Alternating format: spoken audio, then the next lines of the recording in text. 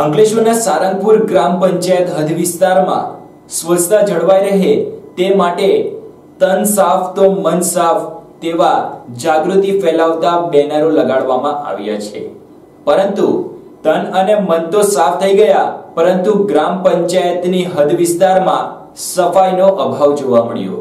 પરિણામે જાહેર જગ્યા કચરાના નિકાલ માટેની કોઈ ડમ્પિંગ સાઇટ હોય તેવી સાઇટમાં પરિવર્તિત થઈ ગઈ છે. અંકલેશ્વરના સારંગપુર ગ્રામ પંચાયત હદ વિસ્તારમાં ગંદકીનું સામ્રાજ્ય જામ્યું છે.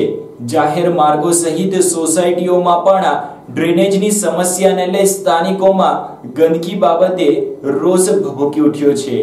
આ બાબતે ગ્રામ પંચાયતે યોગ્ય કાર્યવાહી કરે અને સ્વચ્છતા બાબતે જાગૃત થાય તેવી માંગ ઉઠવા પામી છે. તન સાફ તો મન સાફ, સ્વસ્થ ભા, સ્વચ્છતા બાબતે જાગૃતિ લાવવા માટે સારંગપુર ગ્રામ પંચાયત દ્વારા તૈયાર જાહેર સ્થળો પર બોર્ડ લગાવવામાં આવ્યા છે અને બોર્ડ લગાવ્યા પાછળ ખર્ચનો ધ્યેય હતો કે ગ્રામ પંચાયત હદ વિસ્તારમાં સ્વચ્છતા જળવાઈ રહે, તે માટે લોકોમાં જાગૃતિ રહે.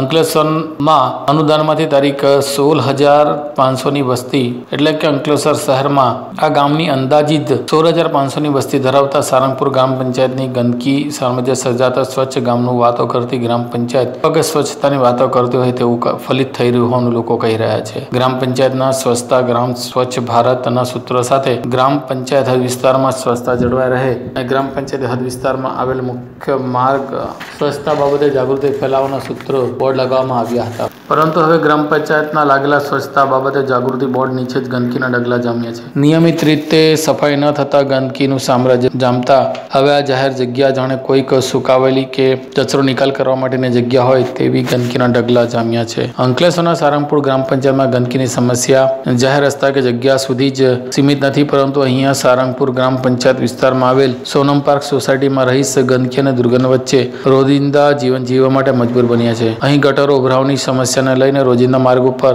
ગંદકી અને દુર્ગંધમુક્ત પાણી ભળતું હોય છે અને આ સમસ્યા ફક્ત ચોમાસા પૂરતી જ નથી, પરંતુ ચોમાસામાં સમસ્યા બે ઘણી વધી જાય છે.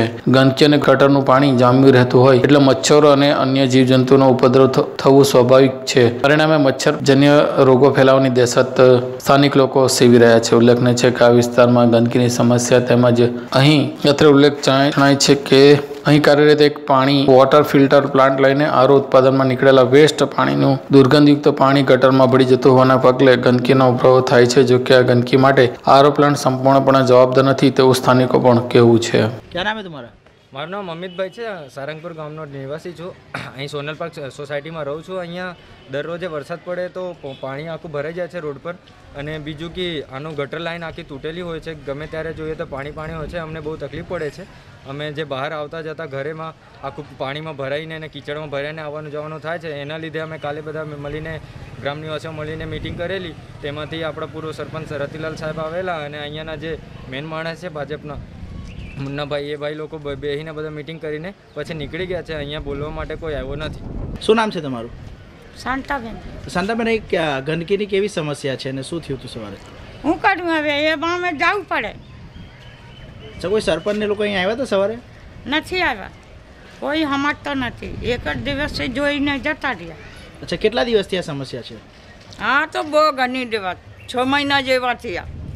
પહેલાં બી હતી. પહેલાં તો બહુ હતા હમણાં તો ઓછા થયા. વરસાદ નથી પડતો હાલ ને તેમ છતાં પરિસ્થિતિ છે તો વરસાદ આવે તો કેવી નિર્માણ થાય? તે તો બધું ભરાઈ જાય.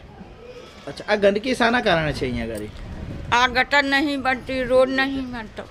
એટલે. અહીંયા ઘરે કોઈ એક ફિલ્ટર પ્લાન્ટ ચાલુ કર્યો છે તેનું પાણી ધોડાય છે ખરું? ના એનો નથી દોરાવતો ગટરનું પાણી જાય ગટર તૂટી ગઈ ને એટલે.